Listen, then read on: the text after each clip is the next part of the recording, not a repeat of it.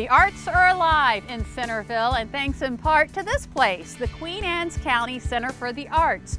For more than 40 years, the mission has been to champion performance, visual, and cultural arts. Delmarva Life's Katie Zerilli stepped inside to see how this nonprofit continues to enrich the lives in this part of the peninsula. How would our lives be if art didn't exist?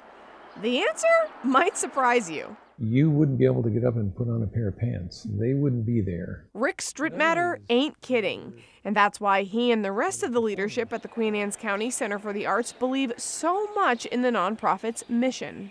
It's bringing the arts to our constituents, every demographic, you know, minorities. It just, it's really bringing um, that presence just uh, kind of a universal application of the arts, whether it's classes, uh, concerts, um, exhibitions, whatever, to everyone in Queen Anne's County and also people outside of the county. It's a mission that's existed since 1977 and one they accomplish by learning about what people like and dislike and building on that. There is an awareness, and although we try to tap in and bring new things to our population in the county, we also want to deliver as far as um, what they like. Like, you know, the concerts are really big, you know, and um, some of the outdoor events with food and drink. And, you know, it, the idea is to, we don't want to push the arts down anyone's throats, you know. We don't want to say, oh, you've got to do this, you know. We want to find out what they want to do, and then we integrate that with like some new stuff. And so far, it's worked out really well. The organization is funded through the Maryland State Arts Council. Concerts, coffee houses, events, exhibitions, workshops, classes you name it, they bring it. Even though a lot of this went online through COVID, that didn't slow down the momentum. Queen Anne's County is a very face to face county.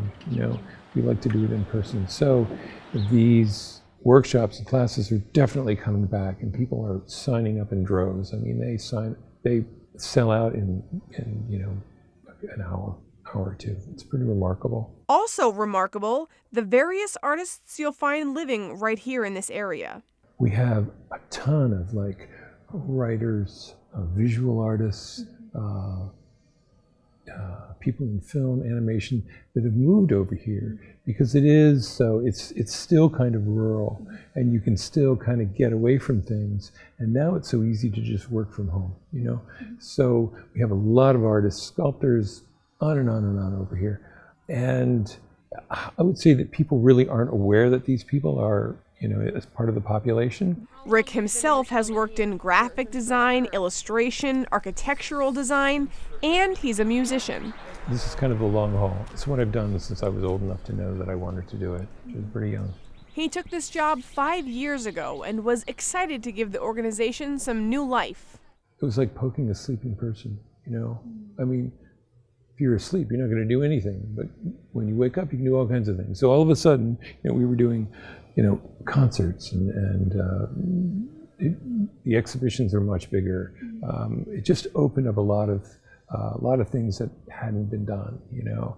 And um, I have an incredible staff, and we've been able to do, I think, some pretty uh, pretty amazing stuff. And it'll get even more amazing once they complete their annex behind the building. They're currently fundraising for that project. Hopefully, when the building is done, probably within about five years, it will be a uh, place for classes, concerts, more exhibitions, and it will really increase what we can do as far as our outreach. Outreach is important to this organization. They'll do whatever it takes to get art into people's hearts our members that we see a lot, they'll come up to me and they'll go, here's so and so. She's never been to an exhibition, you know, and she just loves it. She has a great time, you know. And a lot of times it's not your typical uh, accessible art, it may be something really different, you know. Um, and our concert series and plays, and we've got a lot of members that way, new members, you know, would come in and they would be like, yeah, you know, I'm definitely going to do this. This is Great stuff. And though the art takes center stage, there's often food and drink at exhibits and events that helps bring the fun.